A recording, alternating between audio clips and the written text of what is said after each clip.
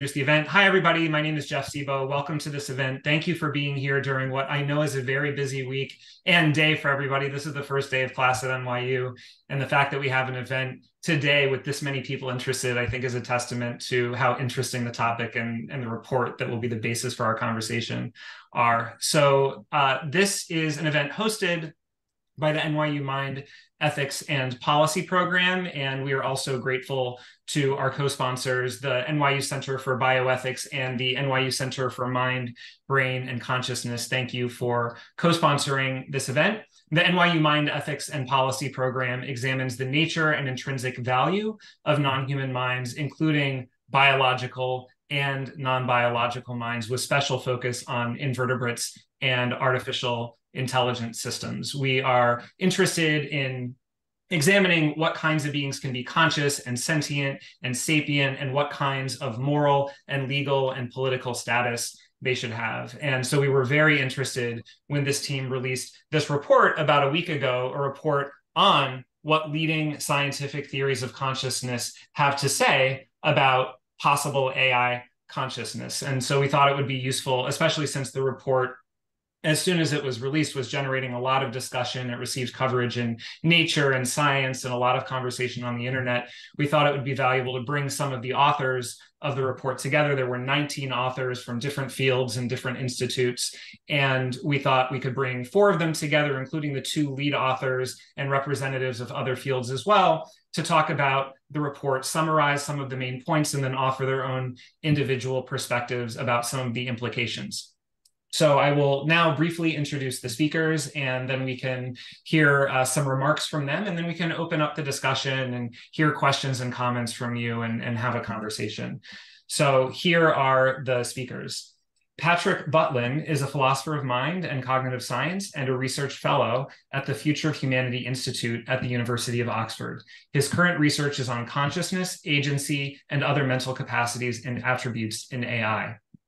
Robert Long is a research affiliate at the Center for AI Safety. He recently completed his PhD in philosophy at New York University, during which he also worked as a research fellow at the Future of Humanity Institute.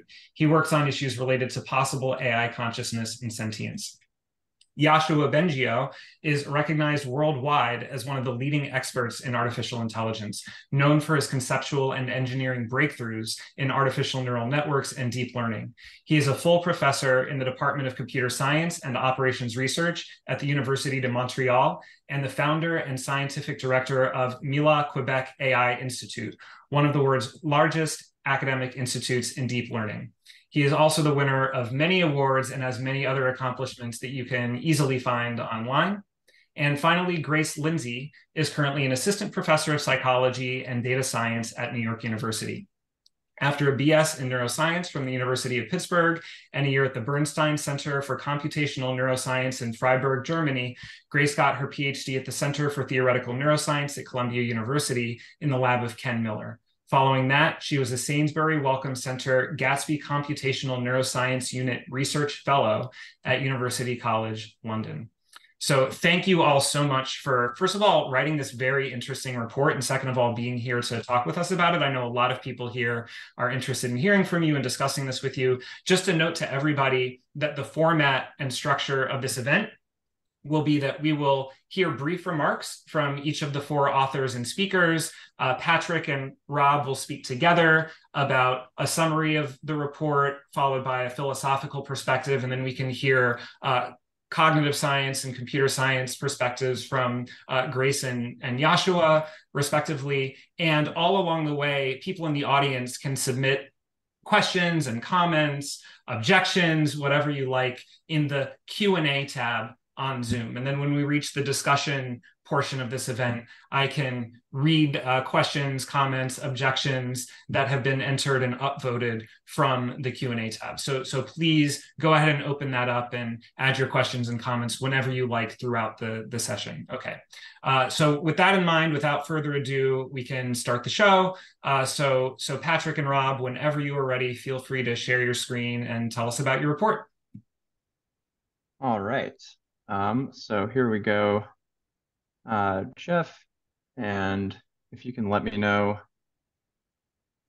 that everything is in working order, Everything is in working order. Yep, go for it. Uh, excellent. So let's begin.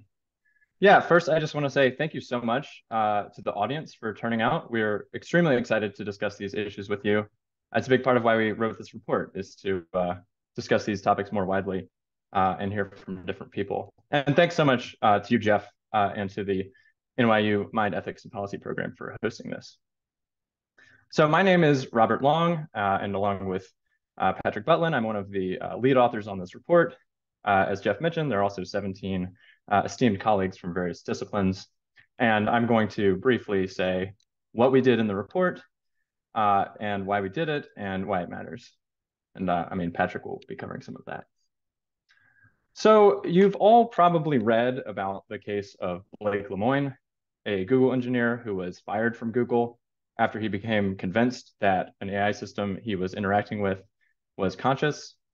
You've probably seen the increased deployment of chatbots, including romantic chatbots that interact with people in very human-like, compelling ways.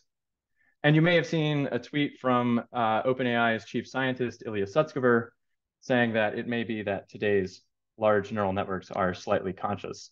So AI consciousness is obviously a topic of increasing public concern and public interest, and it's also a perennially fascinating scientific question.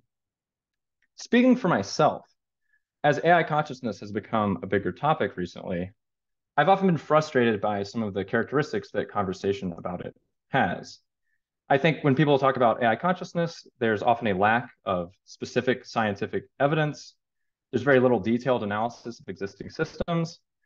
The conversation is often kind of emotive and highly charged and often in dichotomies like how could AI systems possibly be conscious? We know that that's absurd. Or on the other hand, people being certain that they definitely are conscious. And what we wanted to provide in this report is kind of a better footing for these kinds of conversations. We want to bring a more nuanced and a more evidence-based approach to the report. So in addition to the actual findings that we have, we really want to spur a conversation and spur further research along these lines.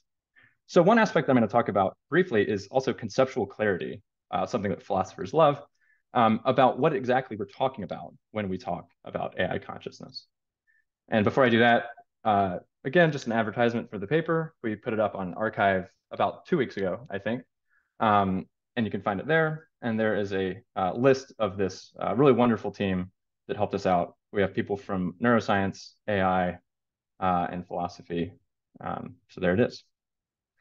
So what are we talking about in this report? It's called uh, Consciousness in AI, Insights from the Science of Consciousness it's very important both in this talk and we do this in the paper to pin down what we're talking about. So what I'll be talking about and what we discuss in the paper is what philosophers call phenomenal consciousness. And this means subjective experience. Uh, Thomas Nagel famously said that consciousness is what it is like to be an entity. So for example, if you've tuned in, you're now currently listening to my voice. Uh, you're seeing my face and this wall on the screen. And there's a subjective aspect to your experience. There's something that it's like for you to be seeing a white wall or hearing my voice. And what we're asking about in this report is whether AI systems now or in the near future could have subjective experiences in this way, if they could be conscious in this sense. And it's very important in conversations about this to be clear about what we're not talking about. We're not talking about uh, whether AI systems are intelligent in a certain way. We're certainly not talking about AGI or artificial general intelligence. We're not talking about language understanding or rationality. And also, we're not talking about whether AI systems experience the world in exactly the way that humans do. So Thomas Nagel, when he introduced this phrase, famously asked what it's like to be a bat. It's very plausible that bats might be conscious, that they might have subjective experiences of the world, but if they are, the way that they experience the world is presumably very different than the way we experience the world. And that also comes along with the fact that the way they think uh, about the world is presumably very different. And they don't have the full suite of human cognitive capacities. So when we're talking about AI, we're wondering about consciousness in this sense, and not necessarily any further assumptions about human-like intelligence or experiences. So how do we go about this in this report?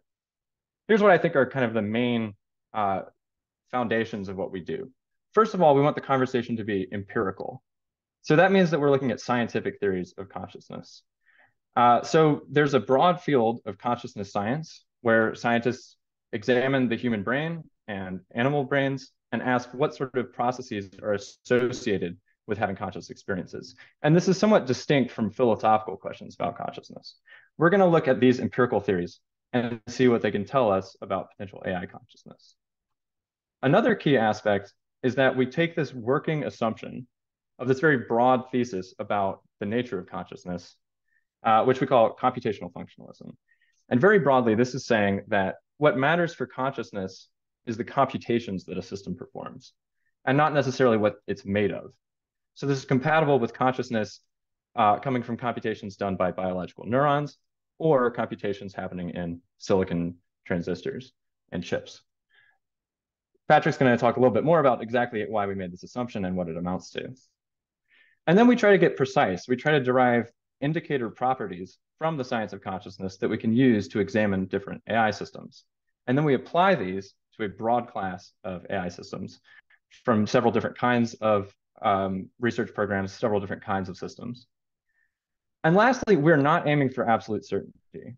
If I, it's my opinion, and I think most of my co-authors, if you're asking for absolute certainty about AI consciousness, you're going to be disappointed because there still is a lot we don't know about consciousness. That's in spite of the fact that we do know some things, which is what we try to show in this report. So it's a long report, so I would like to just talk about one specific example of this methodology and how it works in the paper. So one of the most prominent scientific theories of consciousness is called the global workspace theory. And at a broad level, the global workspace theory says that consciousness is about global broadcast throughout a system. So it has this picture of the mind where there are these specialized independent modules that are responsible for different kinds of information processing. So for example, as you can see in that diagram, one such module might be perceptual processing. So vision is responsible for visual information processing. Or maybe there's a module dedicated to making decisions and choosing actions.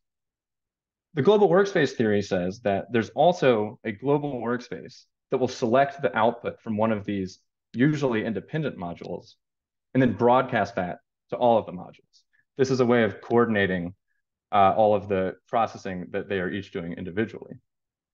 And so consciousness is related to global broadcast of information throughout a system and a system having a certain uh, architectural or information processing property that's related to the computational functionalist uh, assumption that we have. And importantly, as we'll see, there needs to be a certain kind of feedback loop between modules and a global workspace. Uh, the global workspace taking input from the modules and then also broadcasting it back to them. So from that, we get some indicator properties to say what kind of features does an AI system need to have if it's going to satisfy, at least according to global workspace theory, the indicators that might be associated with consciousness. So, you know, one of the top questions you might have is, well, what do we say about large language models? Um, so briefly, you know, large language models, uh, you're probably all familiar with them. These are uh, some of the most prominent systems today. Uh, the GPT systems are an example. These are often built with what's called the transformer architecture. And now is certainly not a time for a full explanation of what that amounts to. But one key aspect for our analysis is that the transformer architecture is feed forward. And that is to say, when the system is taking in an input, say a certain amount of text, and it's going to produce an output, which is the text that it will continue to produce, for example, when you're chatting with it, as it's processing that information, the information just goes from the input layer to the output layer kind of continuously. And when we look at this architecture and, and ask whether the way that information is flowing through it kind of fits with the picture from global workspace theory, our provisional analysis in the paper is that, as far as we can tell, there's nothing like a global workspace that is both receiving and broadcasting information to and from anything like individual modules. To put it another way, there don't seem to be the right kind of feedback loops in the transformer architecture for it to be satisfying these particular indicators of consciousness. So our answer in the, the paper is probably not. According to global workspace theory, they do not satisfy these indicators. So that's the kind of thing we do in the paper. Take a scientific theory, ask more precisely what kind of architectural and informational processing features it says are associated with consciousness, look at how an AI system works, and see how much it matches that. As I said, we do this with a lot of theories. Um, we, we have like five very prominent uh, scientific theories of consciousness that we look at. One thing that's worth remarking on is why do we look at five different theories? Why not just, for example, go with global work theory? And that's kind of related to our points about nuance and uncertainty.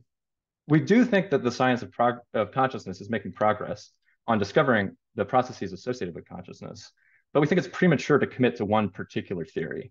There's nothing like a consensus in consciousness science about which one of these stories is the right one for consciousness. So we kind of want to cast a broad net and say, here are a variety of things that might be associated with consciousness according to different theories, and let's look at all of them. Jeff, I saw that my internet said it was unstable. Did I skip at all? Or are we good? Uh, briefly, but but I heard everything you were saying. Cool. And yeah, as mentioned, uh, one thing that we think it's important to do is look beyond just large language models. They have understandably received a lot of the attention. They're very compelling. Their capabilities are extremely impressive. And most saliently, they sometimes say that they're conscious. So it's understandable that they're one of the main systems that people wonder about. But at least speaking for myself, I think when you look at the way that they're built, they're not necessarily even the best current candidates for consciousness among the AI systems that exist today. For example, many people point out that large language models don't seem like they're agents, or they don't seem embodied. They don't seem to interact continuously with an environment, which you might think is important for consciousness. But many systems are plausibly much closer to doing that sort of thing, which is why we look at systems that are from robotics uh, or that navigate virtual environments or that work in different ways than large language models do. And I will now turn things over to my colleague, Patrick. Thanks, Rob. Hi, everyone. So Rob's talked a bit about um, what we did in this project. Uh, I'm going to talk briefly about why we did things in the way that we did. And then I'm also going to uh, comment very briefly on what's next for research in this area. Um, so next slide, please, Rob. Okay, so on the topic of why we did things the way we did, uh, the first question I want to say something about is um, why did we make the assumption of computational functionalism? Um, and this is this is a important question because computational functionalism uh, is quite a contentious uh, hypothesis. So just to remind you about uh, what this what this claim is, computational functionalism, as Rob said, is the claim that what matters for consciousness is computations. So according to this view, the reason why um, humans are conscious is that the right kinds of computations are going on in our brains. And what it would take for an AI system to be conscious is for it to perform the right kind of computations. Now, this is, as I just said, quite a controversial hypothesis. Um, many researchers in this area um, doubt it. Um, for example, uh, Anil Seth uh, suggests that consciousness may require living cells, and there's many other researchers who take similar views to that position. So why do we make this assumption? Well, there's a few factors that play into this. Um, one is that we think that computational functionalism um, is a plausible view. That doesn't mean to say that we're confident that it's true. Um, uh, I think there's probably a range of views about computational functionalism among the authors. Um, but as a group, we're certainly not confident about this. Um, it may even be too strong to say that we think it's more likely to be true than not true. But crucially, we think it's plausible enough that it's worth exploring its implications. Um, another consideration is that many scientific theories of consciousness are expressed in computational terms. And also, if computational functionalism is true, then there's an important further question about which AI systems perform the kinds of computations which are associated with consciousness. So ultimately, the reason why we make this assumption is that we think it's a productive one in the sense that by working, starting from this assumption, we can reduce our overall uncertainty about consciousness in AI to a significant degree. Um, so, you know, we're uncertain about whether computational functionalism is true. We're uncertain about which specific th scientific theories of consciousness are true. We don't know which AI systems are conscious. But uh, if we kind of explore this area of the space of possibilities, we think we can make progress. So we think we can reduce our overall uncertainty. Next slide. Another question about why we did what we did um, is why did we focus on the internal processes that AI systems go through rather than on their behavior or on their capabilities? Why do we think that thinking about internal processes is a better way of determining whether they're likely to be conscious? Well, this is also an interesting question. And it's because it's interesting because there's this kind of important challenge to the approach that we took, which is that um, the science of consciousness is relatively immature. There are still lots of competing theories in this science. And also, crucially, these theories are based mostly, although not entirely, on data from humans. So one might very reasonably have doubts about whether um, these descriptions of what's going on in humans when humans have conscious experiences um, can be extended to provide a guide to consciousness in non-humans. Um, and in particular, that kind of argument has been made in debates about non-human animal consciousness.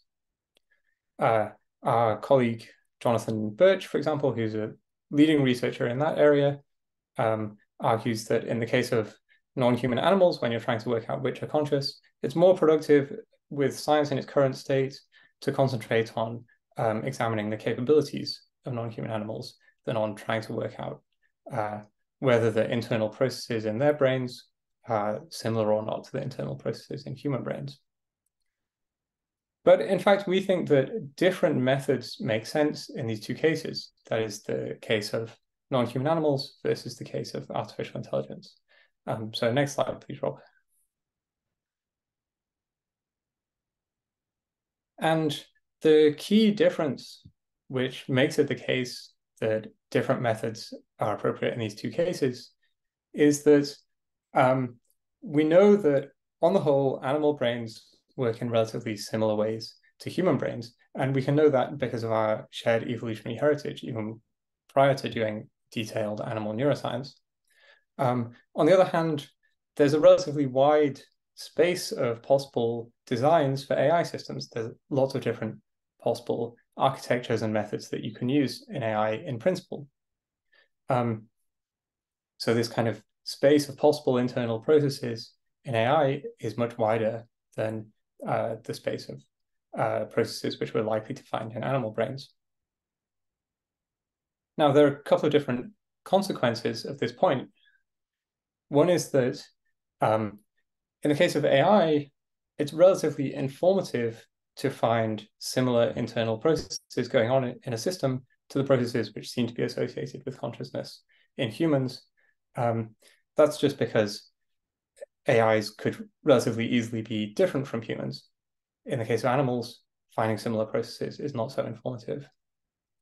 Um, but then on the flip side, uh, finding similar capabilities and similar behaviors um, to those exhibited by humans in AI is less informative than finding similar capabilities in the case of animals.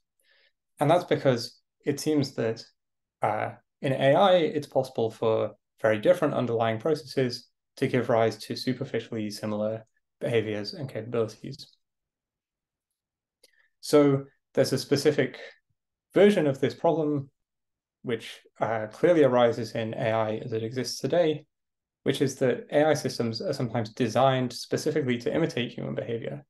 So uh, we know that there are AI systems which have um, superficially, but also in a very compelling way, human-like um, capabilities, human-like behaviors, um, which also work in quite unhuman-like ways. For that reason, looking at capabilities looks like a, on the whole, an unreliable method unless it can be very substantially refined um, in the case of AI. Next slide. Okay, uh, now turning to the question of what's next for AI consciousness research, um, well, I'm sure there are lots of exciting directions which could be pursued at this point, but one which I'm interested in, I think Rob's interested in as well, is um, understanding what's called valenced conscious experience. So, uh, of course, as we're all familiar with, some conscious experiences feel good, like feeling a cool breeze on a hot day. Another conscious experience is feel bad, like feeling pain or fear. Um, these are valence conscious experiences. What we'd say is that the, the ones that feel good have positive valence and the ones that feel bad have a negative valence. But it seems as though in principle, there can also be um, neutral conscious experiences which don't have a valence one way or the other. So the question is, uh, could we find indicators for specifically valenced consciousness in AI? That seems to be a question which goes beyond the uh, general one that we were asking in this report. And we think that this question is important because it seems that pleasure and suffering have special moral significance. Next slide.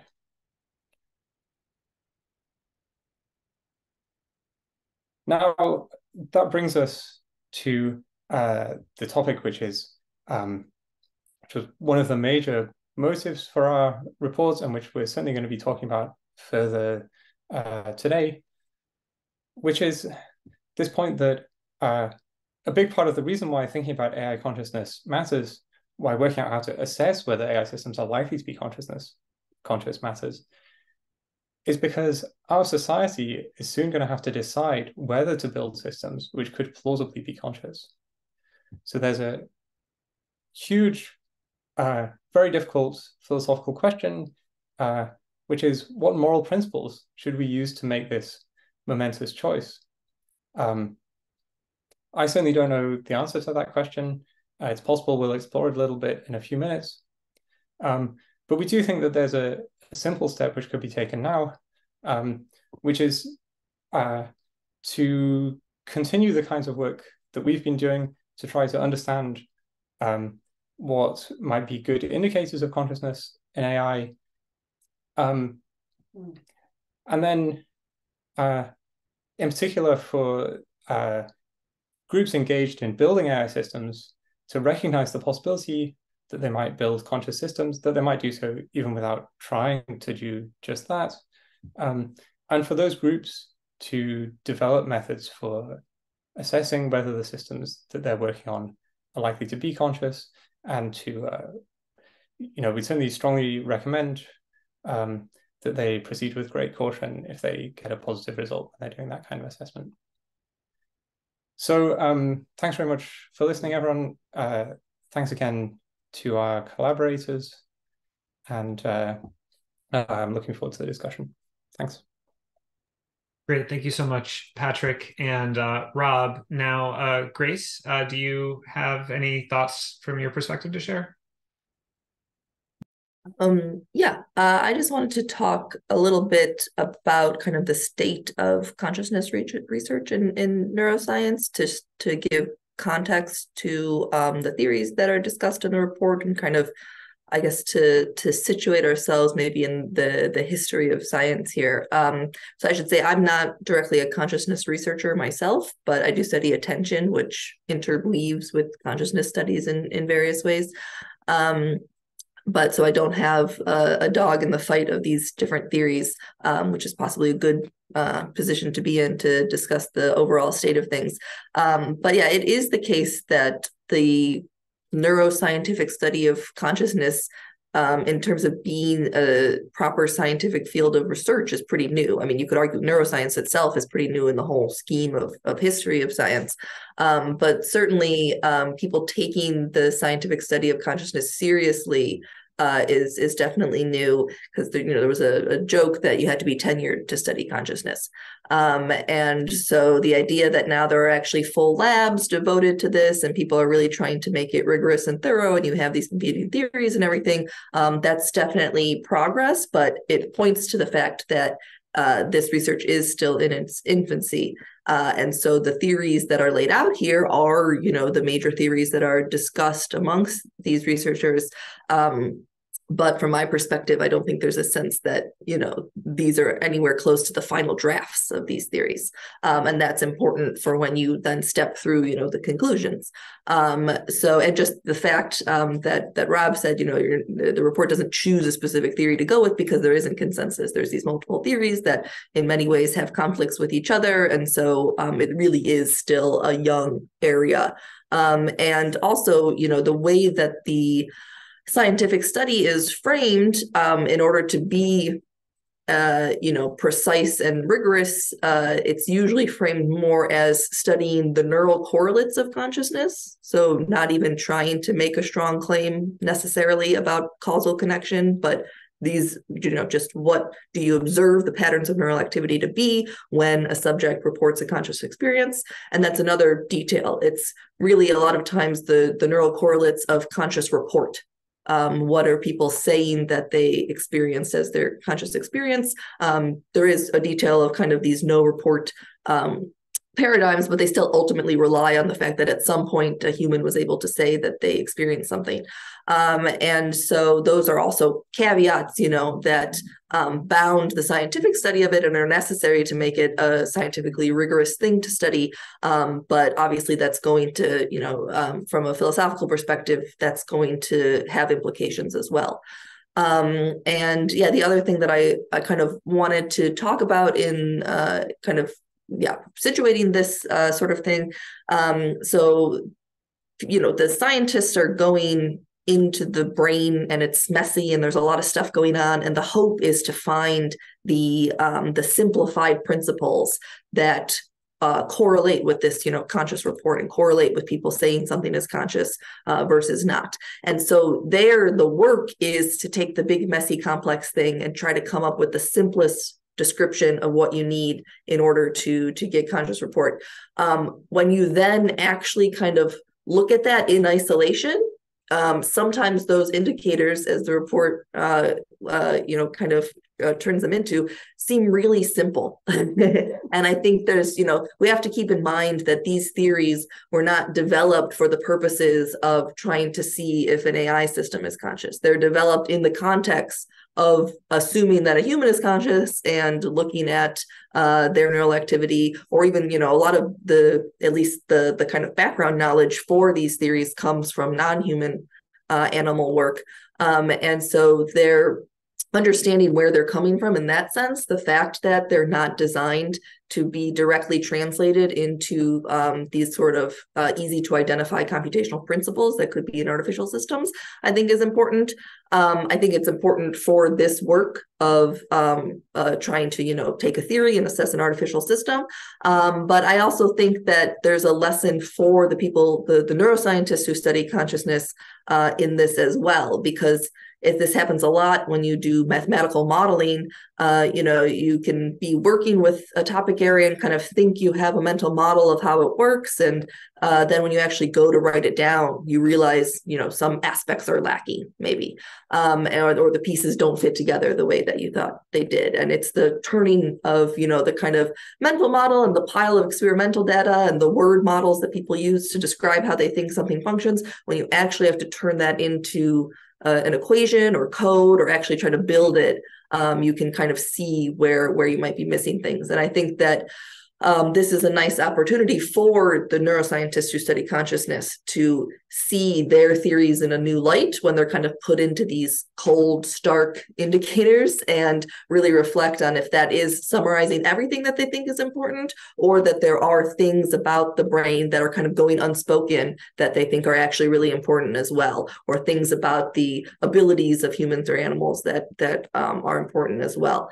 Um, so yeah, I think that's important to keep in mind that these theories were not designed um, to to lead to a description that is uh, used for AI, um, but it's still a very helpful exercise in my mind to go through this and see what they look like in the end when they're kind of pared down to the simplest form that can be uh, translated into an AI system. So overall, I think the report has benefits, you know, to be able to take this uh, neuroscience literature and and bring it to an AI audience and put it in those terms, um, but also has, should have benefits for the neuroscience side itself in terms of thinking about how these theories uh, really pan out, how they relate to each other, what they could be missing. Um, if the scientists who you know created and worked on these theories if they would agree with the conclusions of the report or even agree that uh, an artificial system that had these properties was conscious in the end. I think that that's an important thing for um, for the, those scientists to reflect on.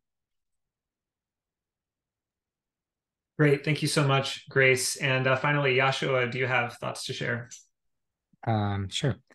Um, maybe um, i'll start with talking about the computational sort of uh, functionalism, computational basis of consciousness and subjective experience. We've been using the word consciousness, but really, I think it's important to uh, clarify that the, word consciousness can be associated to all sorts of things, and we're trying to focus on on, on subjective experience, which is the part that um, may seem very mysterious to uh, many people, including researchers. Um, my uh, personal uh, view, so maybe not the you know unanimous uh, view of the others, is that physics is computation, and many physicists share that view. Uh, you know, it's uh, just a bunch of equations that could be implemented in any way you want. At the end of the day, you get the same uh, uh changes in the state of the world, and your brain is physics too. Now, I think some of the questions about uh, uh, how this could be turned into computations in a computer may have nothing to do with something non-material um, that could possibly be happen in biology. Maybe there is something about the physics, like it requires uh, quantum computations that maybe we don't know yet how to do.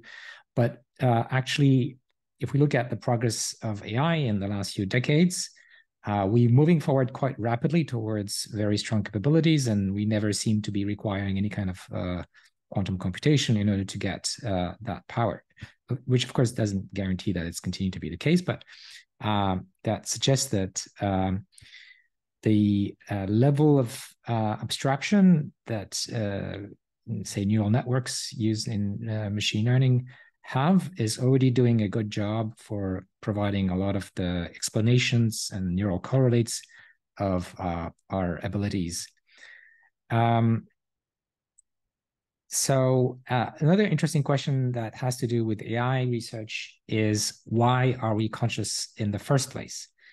And um, the uh, perspective uh, that you know would come naturally to machine learning researchers or AI researchers is uh, you know evolution uh, notice with these forms of computations because that gives us an advantage either individually or collectively you know there's a social aspect to consciousness as well.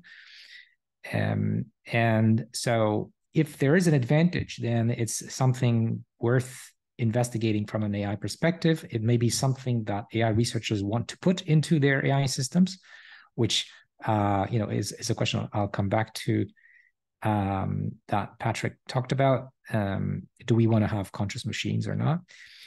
Um, so uh, one of the things uh, my group has been working on is precisely this. So, so some of these theories of consciousness, in particular, the global workspace um, uh, theory and uh, attention schema theory, uh, and and others, really um, can be interpreted as providing an advantage in terms um, of our ability to learn and manipulate abstractions. So this uh, is connected to the property of um, um, thoughts and uh, attention selecting very few bits of information that go through working memory at any moment. And then, you know, we sequentially go through a, a very, very small number of bits in this way that uh, help us take decisions um, and organize our understanding of the world at a very abstract level that uh, compresses uh, information raw uh, you know perceptual information in a way that helps us better understand the world take better decisions um, better model it and so on. Now let me go back to this question of um, uh, whether AI, you know, are conscious or will be in, in, in the future. So our, our report uh, suggests that none of the current um, AI systems um, have enough of the uh, characteristics that those theories suggest. But um, so first of all, the, the different theories we chose are not the end of it. So this is a continuously moving field. Uh, uh, there, you know, are new papers coming uh, regularly suggesting other variants, often related to the existing theories. So we shouldn't take these as the end story of uh, how consciousness works in the brain. Um, and um, uh, uh, also what the report suggests is actually those properties, the, those in these theories, or maybe other ones that could be related that may come up in the near future, um, those attributes are not impossible to put in AI. So it's it's very plausible that in coming years we would be able to build machines that um, compute in in ways that that um, at least uh, suggestive of uh, consciousness in, in the human sense and um, I think this raises a lot of uh, important questions.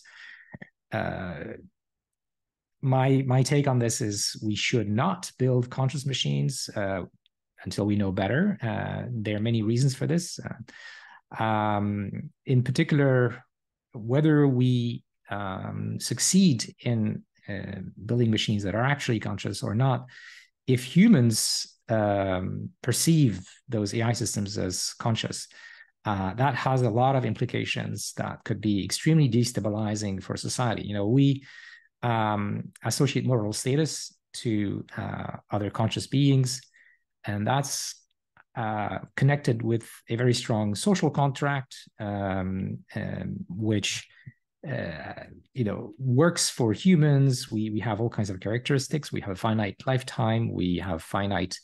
We are bounded sort of uh, intellectual capabilities which and and these properties uh, uh, may not apply to AI that can reproduce. Uh, you know, there's no limit in how you could copy an AI uh, system over and over. Uh, so they might be like immortal. They might be much smarter than us. Um, all sorts of things that I think would would make the current um, interpretation of consciousness uh, at a moral and social point, social view, questionable. And, and so I think until we know better, um, we shouldn't do that. There's another more pragmatic reason why I think we shouldn't build conscious machines, because with with consciousness also comes a notion of um, self and uh, even self-preservation, objectives like agency. This was one of the theories that was uh, described, and uh, this could be if we if we go that on that route, this could be very dangerous from uh, an AI safety point of view. In other words, we might be building machines that have uh, their own goals uh, that uh, are not well aligned with uh, human uh, norms and, and, values in, in ways that could be extremely dangerous for humanity. And of course, this is a subject that's intensely debated in the last few months, which you know makes this report particularly interesting but but uh, the, this is one point I want to I want to uh, emphasize. Um, let's see. Uh, the last point I want to make uh, that's uh, not really in the report, but uh, connected to what we talk about in the report, but comes from recent work coming out of my group just in the last few months. Um, suggesting so it, it's it's another theory of consciousness that is completely computational. Um, it's related to several existing theories but but what's interesting about this one is that um, subjective experience with all the attributes that we uh, uh, associate with it, like ineffability and uh, subjectivity um, and richness uh, and uh, um, uh, and fleetingness, um, these properties emerge of this model as side effects of um, a, uh, the need to perform a particular kind of computation that is important from a learning perspective. But but you could obtain potentially the same um, computations in a, with a different implementation that wouldn't have these side effects. So evolution has sort of converged in this particular way of achieving particular uh, useful computations that um, may give rise to our sensation of being conscious and, and having free will and all these things to which we attribute a little bit of uh, uh, sort of uh, magical properties. Um, and and we should be careful about that that instinct we have about our own perception of being conscious uh, in light of of those results from neuroscience and AI. I'll stop here. Great. Thank you so much, Yoshua, and everybody for those remarks. Very interesting. It gives us a lot to talk about. I want to flag both for the panelists and for everybody in the audience that a very lively discussion is already happening in the Q&A tab. And so I encourage everybody to go check out the Q&A tab and read through some of the questions and comments that have already been entered and feel free to reply directly to each other and have those conversations. We can have one conversation here and another in in the q&a tab. I will jump right into questions that attempt to synthesize and present you with what people are asking about in the q&a tab. I will not be able to get to everything but please know everybody that we will send all of the questions to the panelists after the talk whether or not we can get to them during the presentation so uh, some of the questions are descriptive, others of the questions are moral or legal or political in nature. So I can start with a general descriptive question for you.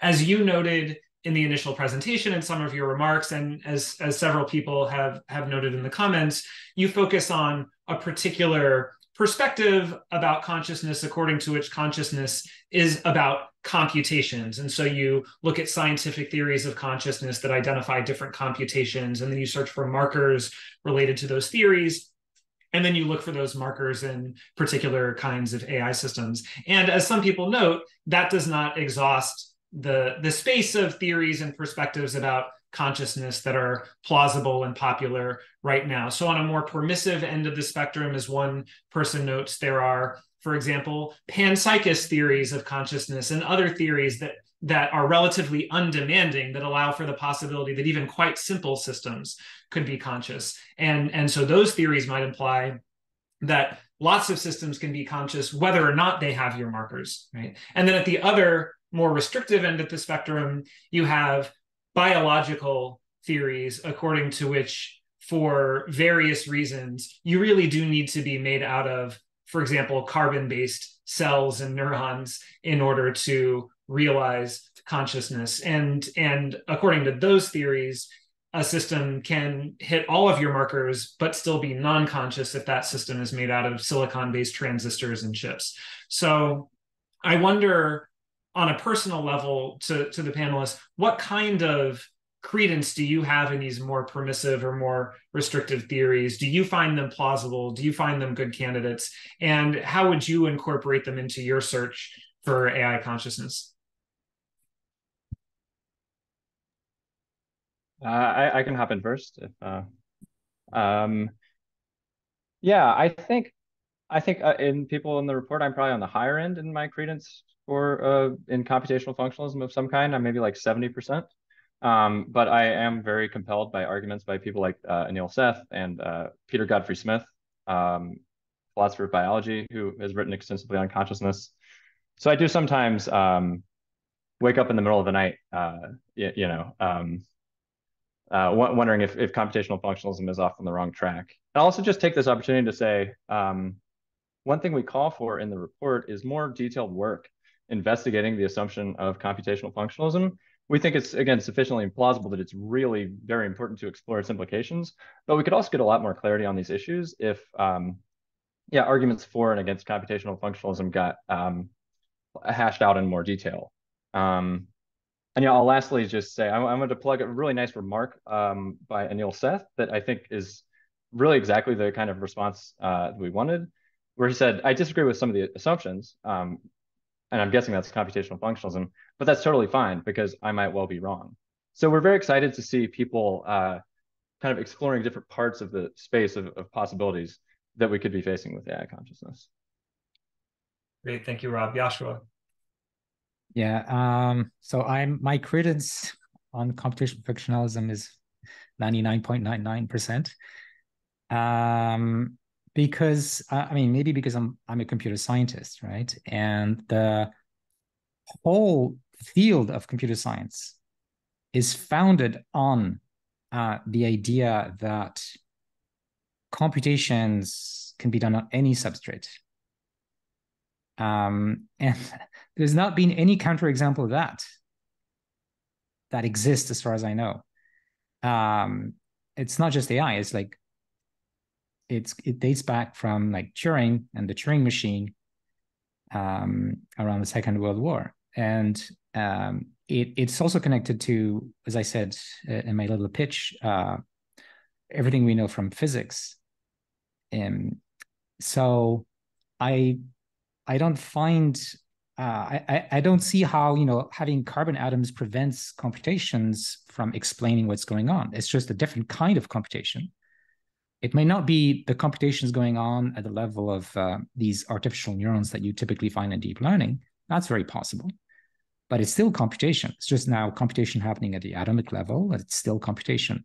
Whether you know what's the level of abstraction that's needed to replicate human intelligence and consciousness well, nobody really knows, and that's open. But I think the question of whether you need uh, something that's non-computational because for me, if it's not computational, it's not even physical, so it's not even materialistic, and I don't see, you know, how you could buy that unless you believe in some spiritual beings explaining our consciousness.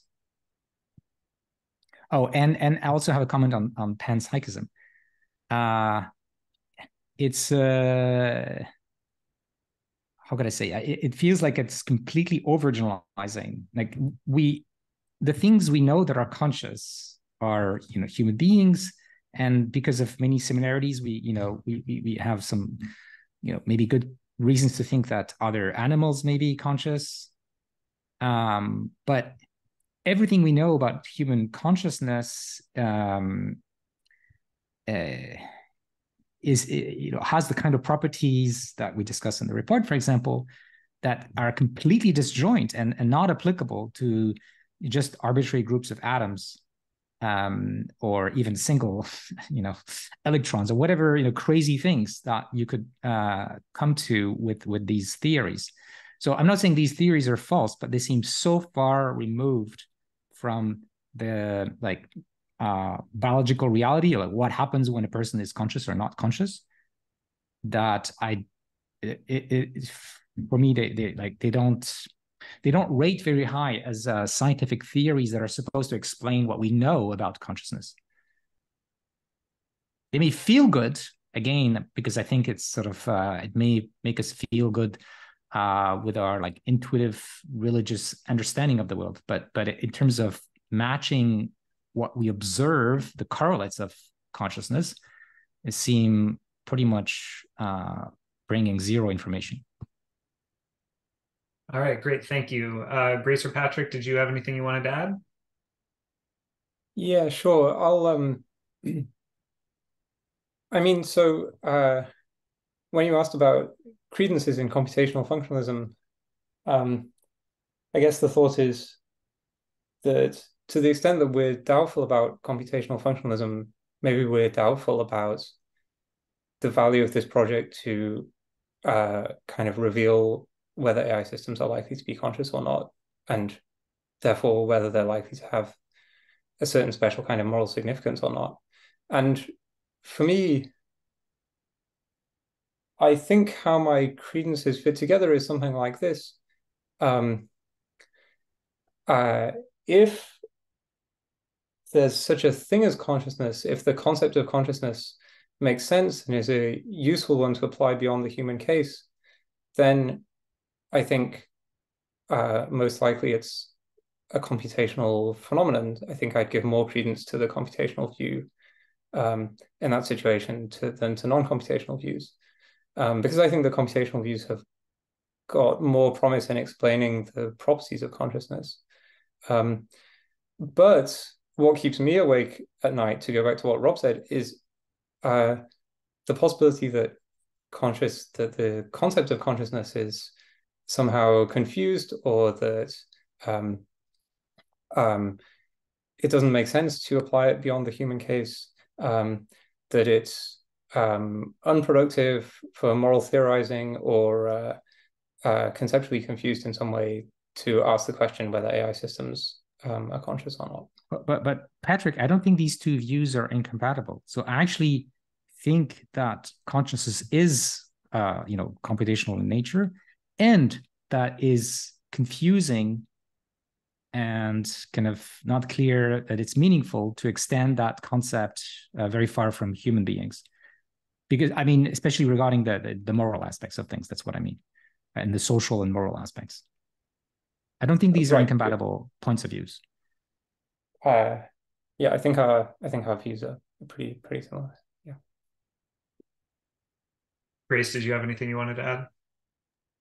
Um i mean in terms of computational functionalism my gut is that it's it's largely correct or certainly there will at least need to be a common set of computations and then maybe there also needs to be other stuff. But on the whole i just feel like we're several paradigm shifts away from really understanding uh, all of this so it's hard for me to say anything with any confidence or vigor yeah that that seems like the the answer about which we can be most confident uh, okay great Thank you, everybody. Uh, I, I can now ask a question on the moral, legal, political side. And again, several people have, have asked questions along those lines as well. So I think, as you yourself said, part of why so many people are so interested in this topic is because we do associate consciousness and then related capacities like sentience, the ability to consciously experience positively and negatively valenced states like pleasure and pain and happiness and suffering. Many people associate that reasonably, in my view, with a certain kind of intrinsic moral and legal and political significance. The idea being that if you have consciousness and or sentience if there is something it is like to be you and if it can feel good or bad to be you especially then you matter for your own sake and i should consider your interests and needs and vulnerabilities when making decisions that affect you and that might extend to a decision about whether to create you in the first place as well as a decision about how to treat you if and when i do create you. And so i would like to ask all of you, if if you care to respond. First of all, do you associate consciousness or sentience with that kind of intrinsic moral or legal or political significance? Do you think that when a being is consciousness or sentient or sufficiently likely to be conscious or sentient by our lights, that we should extend them a certain kind of intrinsic value and consider their potential interests needs vulnerabilities when making decisions that affect them. And since we are making these decisions under uncertainty i also wanted to ask a little bit about how you think about the risks associated with false positives and false negatives with potential over or under attribution of consciousness and moral status. What are the risks associated with accidentally seeing an object as a subject? And what are the risks associated with accidentally seeing a subject as an object? And how do you weigh those when deciding how to calibrate this kind of test and practice? So yeah do you associate this with moral status and how do you deal with this under uncertainty? Yoshua well, I'm not a philosopher, so you know, uh, take that from uh, uh the angle of a computer scientist. But um, my interpretation of this question is we are asking the wrong question. Um, it's not whether we should attribute moral status to um, entities that that have particular properties like being conscious or something like that. Is that that's how we are? That's you know humans are compelled to uh, have empathy and compassion for other types of beings, in particular other human beings, because that's something that evolution put in us.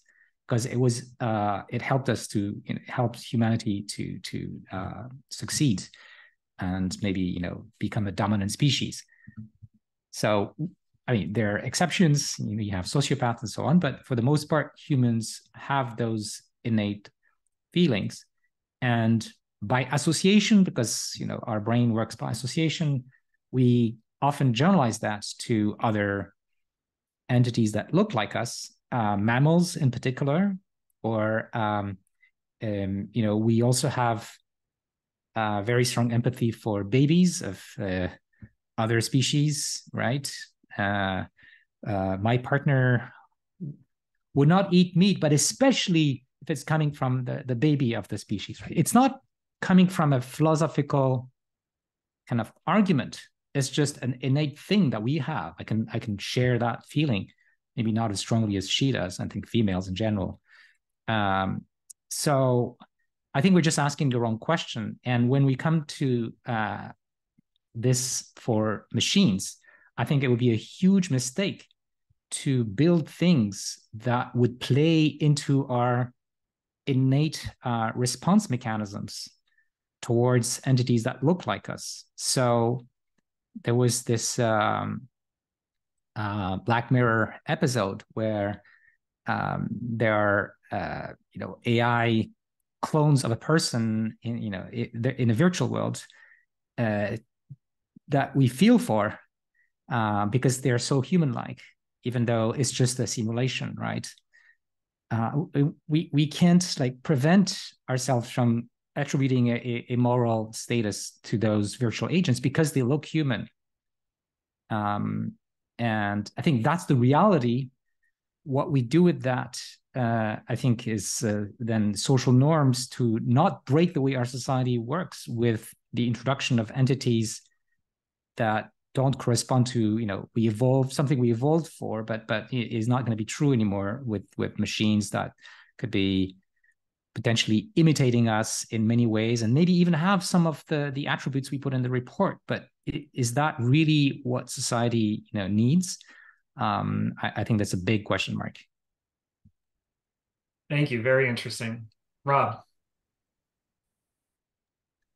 Yeah, so I think um, my views on this are, are, are similar to Yoshua's in, in many ways. On the question of what um, the grounds of moral status are, as as philosophers would say, um, for my own part, I'm like quite confident that if an entity is sentient, uh, that is, if it has valence conscious experiences like pleasure and pain, that that alone is sufficient for us to uh, care about it and show concern for it.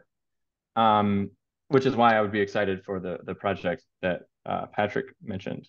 I'm less clear on how to think about uh, entities that are merely conscious, that maybe only have neutral experiences.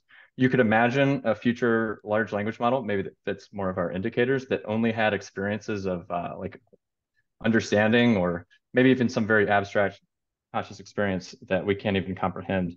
I would obviously be extremely careful in how I treated that thing, but I'm a little bit less sure how to think about that case.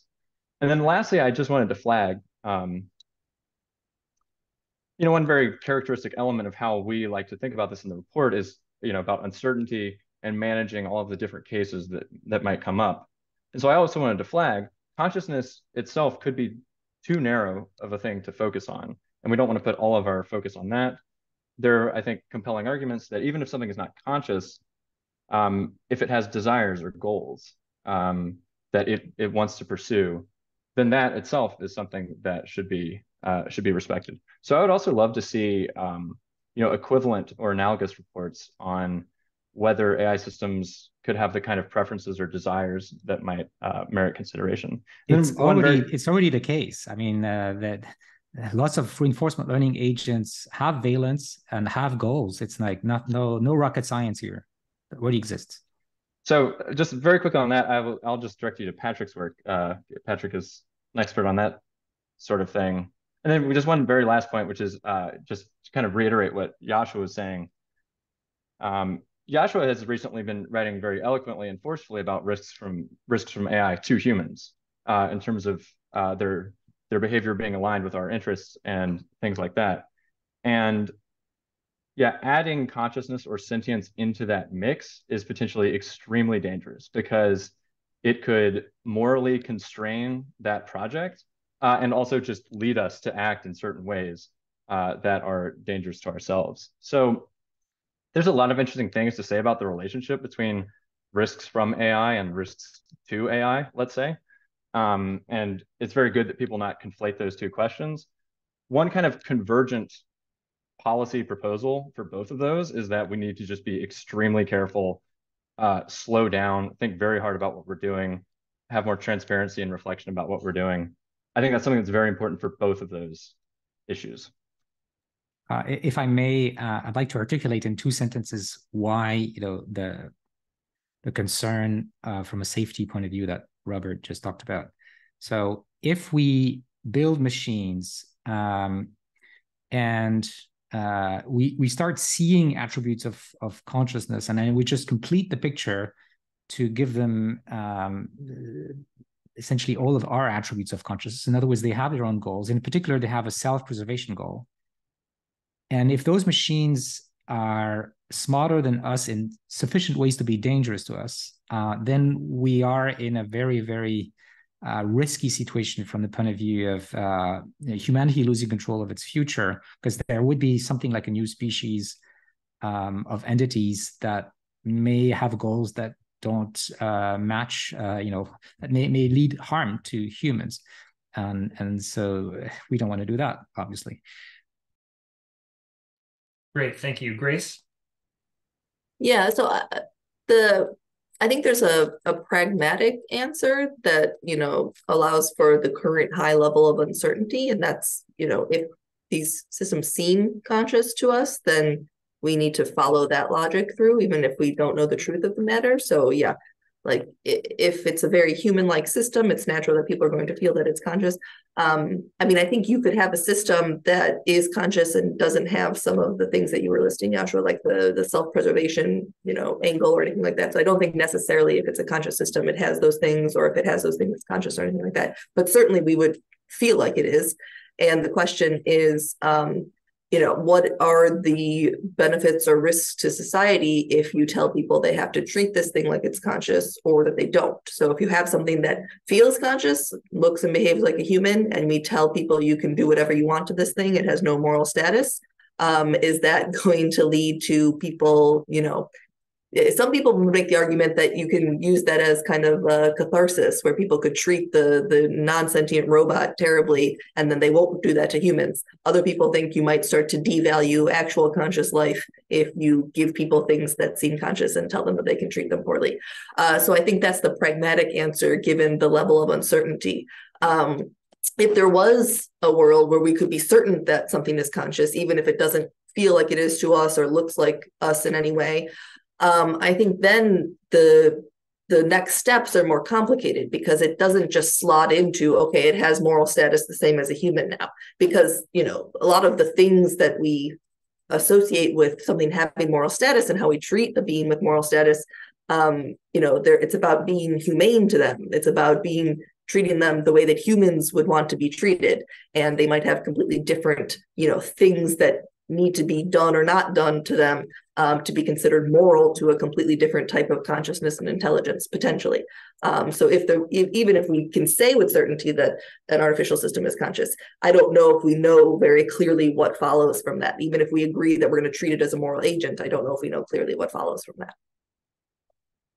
Yeah great great point. Th- this is a lesson that we have learned often the hard way over the past several decades on the animal minds and the animal ethics side of things. And I think we need to relearn or remember those questions on the AI minds and AI ethics side of things. And, and I appreciate everybody for articulating that here, that there might be broad similarities between the minds of biological and non-biological beings, but a lot of the details might be different, even if there is some kind of valenced subjective experience, the actual interests and needs are going to be very different. The levels of intelligence and power are potentially going to be very different. It might disrupt expectations we have about what it means to have a moral relationship or a legal political relationship with someone. So it might be that in some broad, thin sense, the concepts extend, but in any kind of more detailed or thicker sense, we have to rethink everything, right? Okay, we have about five minutes left. And again, tons of questions and comments we, we will not be able to, to even scratch the surface. But I can ask one more detailed question about your discussion of global workspace theory that came up several times in, in the comments. Several people asked a question of the form. You mentioned that large language models do not have the relevant kind of feedback loop at the kind of transistor level. But what about at other levels of explanation? What about, for example, the actual application of the models and how they draw from their own past responses when making predictions? Is there a kind of feedback loop happening there that might be relevant for global workspace theory? There, there were a few questions of that form, so it'd be great if, if somebody could address that. Yeah, I'll say something very quick and then I'm going to pass the baton to Patrick just as a heads up. So a quick clarification, it's not actually about the transistor level. It's about the level of the uh, like virtual neurons. It's in that sense that it's um, that it's feed forward. And then one thing that um, I haven't actually looked at those questions, but there was an interesting discussion on Twitter that happened um, where, yeah, you might think that the place you get the feedback loops is the fact that the model will output a word and then look back over the entire string and then output the next word. So it, you could argue that it's using the whole text output um, as a kind of global workspace. Uh, and if you're interested in like the extended mind, you could maybe make an argument that that's a kind of global workspace. That said, I think that's there's kind of challenges to that view, which I will uh, punt to Patrick. Um, yeah, so I I mean it seems just seems to me that um, any system which interacts with an environment in the sense that its outputs influence the environment and therefore have a knock-on effect on its subsequent inputs is one in which there's a kind of recurrent causal loop connecting the system itself with its environment. Um, and it seems as though if we allow that to be the kind of loop which is described in the global workspace theory, then we're just giving a uncharitable interpretation of the of the global workspace theory because that's that's not what they intend. Um, instead, the the thought in the global workspace theory is that there's a internal recurrent loop within the system between um, the modules and the global workspace. Um, but but although although Rob has suggested that I'm the best person to answer this question, um, really the most qualified person here to answer the question by far is Yoshua because he understands uh, both the global workspace theory and the um, AI systems uh, yeah, much better I, than, I, than Rob or me. I agree with your answers. Um, so I I have a, a, machine learning interpretation of the the bottleneck in the global workspace theory, and um, it, it, it allows for um, a, a forcing particular kinds of dependencies and abstractions to emerge, very sparse dependencies that involve like very few variables. Um, it forces that to emerge because of the bottleneck at, at, the internal level. If you if you were to consider the output words of a transformer as the bottleneck, it it doesn't really work for uh, a number of reasons because this is what it's outputting. It's like if you were to forced to say everything that comes into your working memory, um, and, and also that it could be expressed as words, which is not completely obvious. Um, so it's really a different schema. It, it, as you say, the fact that it's an internal bottleneck uh, makes a whole difference. And the actions that are taken are not just a copy of that bottleneck, but they might be, you know, what is appropriate in the context. Uh, you might be lying, for example, or you know, it, it, you might realize that your thought has something incoherent, and you might want to say something different. Uh, you wouldn't have that if you interact with uh, ChatGPT. Um, although people are actually trying to design things like this that are closer to an internal uh, thinking train of thought uh, with transformers and with ChatGPT in particular to try to emulate some of the properties of the um, uh, workspace uh, for helping to reason. So th th there is movement in that direction, but it's not really the same. Right. Okay, so, great. So, what, so I was just going to say one response which we sometimes get when we say uh, a system like a transformer-based large language model or something doesn't meet the criteria. People people are often quick to respond by saying, well, you could change the system in such and such a way, and then maybe it would meet the criteria. And, and we don't disagree with that at all. We we think that there uh, are relatively clear steps which could be taken using existing AI techniques to build systems which would be uh, which would meet more of the indicator properties um, than the than the ones which exist at the moment. Yeah, I, I would add that there are other properties that are not really discussed in the global workspace theory, which would be missing, and in my opinion, uh, especially about subjective experience. So the global workspace theory doesn't explain subjective experience, at least uh, not all the properties that are associated with it. And um, so I, I mentioned earlier things like ineffability, like the fact that we are conscious of something richer than what we are able to express with words at least in you know a limited number of words and um, it, that's something you don't get with transformers especially if you put the bottleneck at the output um, you might get something like this if you suddenly had a huge hidden layer in you know in, in the middle somewhere that could play that role that is possible um, um, yeah, there are also other properties of uh, conscious thought that that are not expressed in transformers as they are now. For example, attention in transformers is what we call soft attention, actually something invented in my lab in 2014.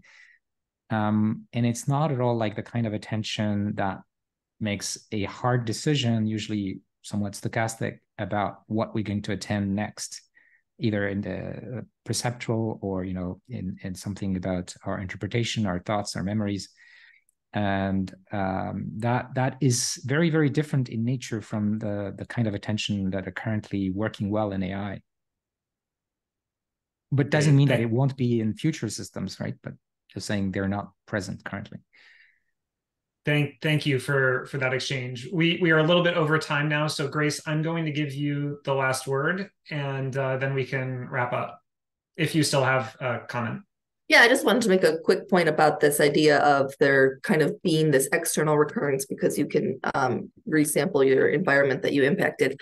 Um, I think, you know, if you're looking at the architecture of the model, that is a pretty big difference from there being internal recurrence. But if you take the perspective of like a naive neuroscientist who was trying to understand this system and they only had access to the activity of the neurons over time, which is what happens a lot in neuroscience, um, you might think that there is internal recurrence because there would be correlations between activity of neurons over time and that kind of thing, or at least in the information represented in in the system over time. And so on some like fuzzier, more abstract level, maybe it does look like there's recurrence, but we actually know the architecture that generates it. And if you're subscribing to theories of consciousness where the architecture that generates it matters, then it's a different, you know, different outcome. Okay, great. Thank you very much, Grace. And and okay, this is the time now to thank everybody again for taking the time to join us and tell us about your report, answer some of our questions. Thanks also again to everybody in the audience for showing up. We had really amazing attendance and a fantastic conversation happening. And apologies for not being able to get at all of the even general topics of the questions, to say nothing of the specific questions. Uh, but but it really was a great conversation, and we will share all the questions and comments and exchanges with the panelists following the talk.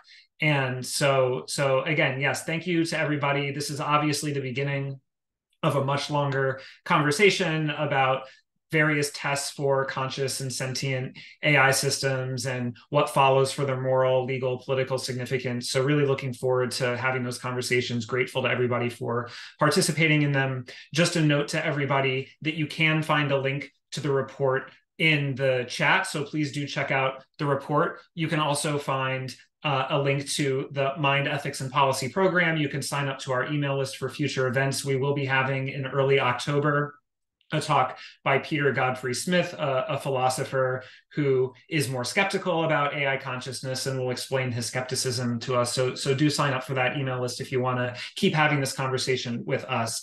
And with that, I hope everybody has a great start to your fall, great start to your semester. I have to go teach class now, so I will sign off.